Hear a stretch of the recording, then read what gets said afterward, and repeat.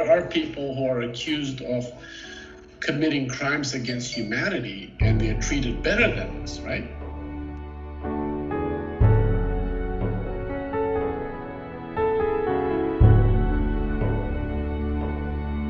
You're, you're just taking a child who has uh, childlike dreams.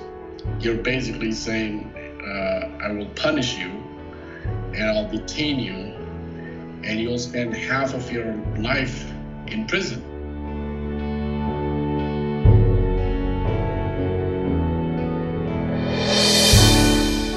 15 when taken, now 24. Without charge, without trial, she remains forgotten. Help us free Ciham.